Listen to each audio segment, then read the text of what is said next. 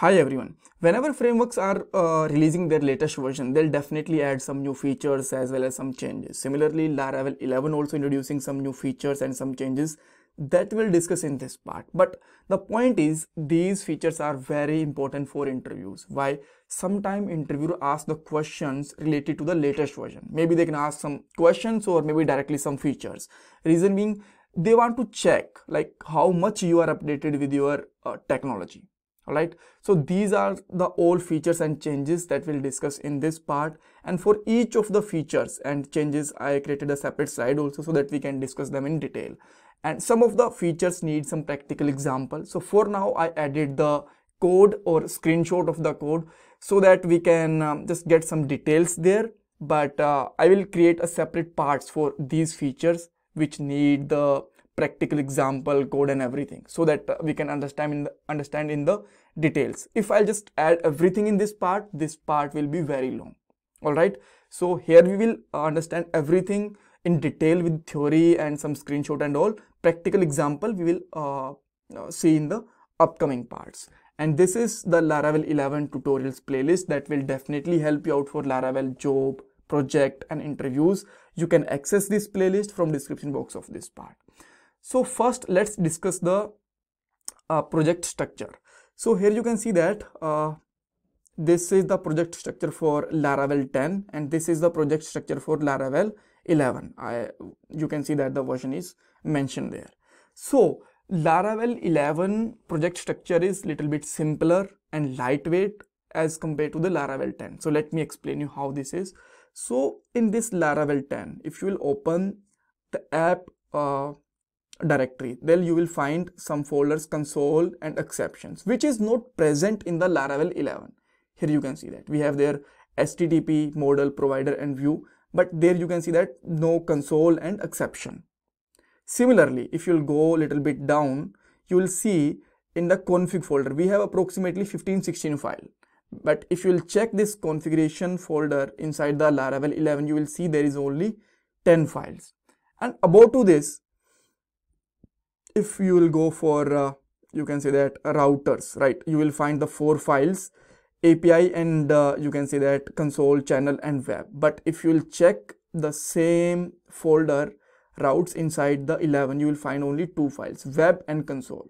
Api and channels are missing from there. So there are some other files and folders also which is missing in the laravel 11 so why they are missing? Actually they are missing intentionally because these features are not uh, you can say that used very frequently. So what they did they removed these features but if you want to add these features we can add. I'll give you one example like how we can add them right? So due to the uh, you can see that less file size and folder uh, number of folders and files so the laravel 11 is little bit lighter and little bit faster also.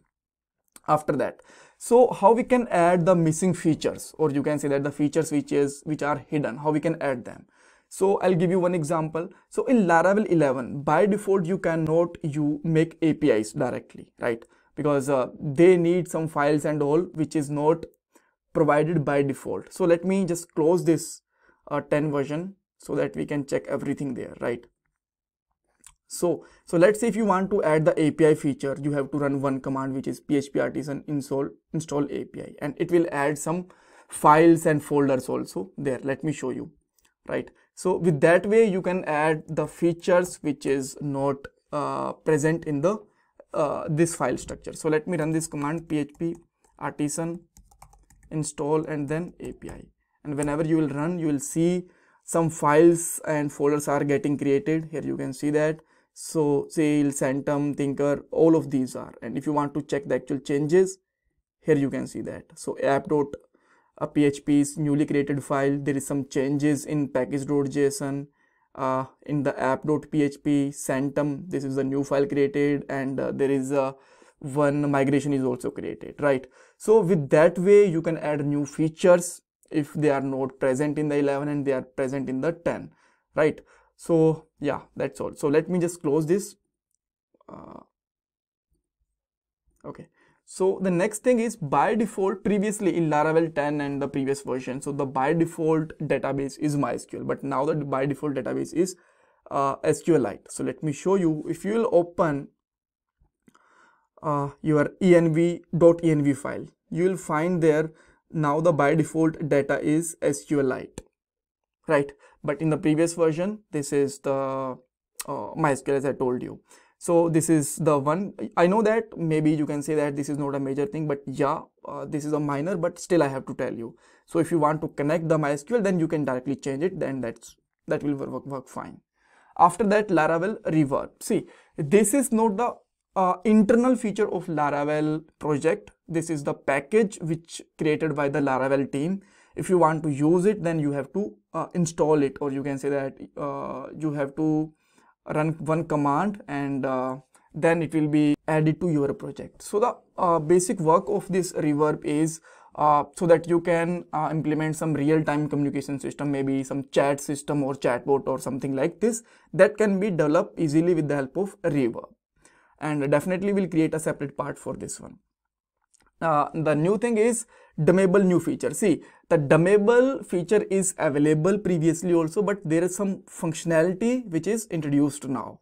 So I am very sure if you are using Laravel uh, since some of the few few years back, then uh, you maybe know about DD function and dump function. So these are basically used for debugging so that you can check where the error coming and how we can fix it and for that, right? so by previously what you can do there you can see that this dump function or maybe you there you can use dd function okay? Uh, fine so dd means dump and die. So the purpose of this function is as i told you to debug uh, the code and errors. So previously you cannot use it between the function. So now so let's say you have a time variable and you are getting day minutes and second from this carbon. Now you can use dump function between this right? Now you can see that this with the arrow function. Previously you cannot use this dump between the this function chaining. You have to use at the last only right? So, all right. Okay so definitely we'll create one uh, part for this also. This is very interesting feature actually. Now the health check so uh, now if you want like uh, let me just see that. Uh, actually this is openly open previously. So if i just use their test right you can see that this is working fine. Yeah. So but if you want to check if uh, there is some issue with your application or this is down then you can just check uh, your application name or your host name and then just simply put there up. And it will tell that how much second it will uh, render for one request there are 10 millisecond. After that uh, it will also tell like your application is up or down or something. So this is very very helpful for check the simple uh, health checkup right? Yeah. After that there is a one function. So sometime what happen we are calling one function again and again. And maybe uh, we are putting some very uh, expensive functionality in this function. Expensive means time taking functionality. Maybe you created a very big logic and it will take 3 to 4 seconds to execute this. So if we are calling this function again and again, so our application can be slower. So what in this case you can do, you can just use this once function. What it will do, it will just make this function inside the cache and the result will be written from the cache and that will be a little bit faster. So here you can see that. So whenever we are calling this random function first, so it will get the result from this function and second time the result from the cache and the third time result again from the cache but these these things should be only used whenever our function is written only the static output. Output should be same every time. Otherwise if you will just cache the static output and output is changing every time then it time that time it will not work properly. So there are some new artisan commands also which is introduced in laravel 11 like now you can create class enum interface trait with the class. So let me show you one example. So let's say you want to create one class right? And uh, let me open terminal. And uh, you can simply let me just clear this thing. You can php artisan make class and your class name. So let's say my class name is dummy and now you can see that the new uh, class is created inside the app folder here you can see that right? So this is a simple class is created. And if you just not not put the class name it will ask class name right? Like this. So you can put there let's say student or something. Again it will create the class. Similarly you can create the all of these enum interface and trait functionality.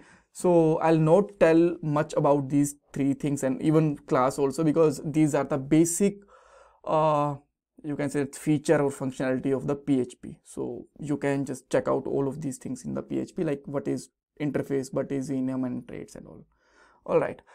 After that so laravel 11 introduced some uh, you can say that new schema operations or so that you can check how many tables views columns these things you have in the database. So uh, so let's say you are connecting with some specific database and if you import the schema and just run this command it will return the name of all tables all views. And if you want to get to know the column name in the table then that time you can use this method. You can get the index by this the table name and foreign key by the table name also. Yeah. So there is a one more thing which is per second rate limit. So so, so sometime what actually happen uh, you want to limit like uh, in one second or in one minute how many requests can user make right?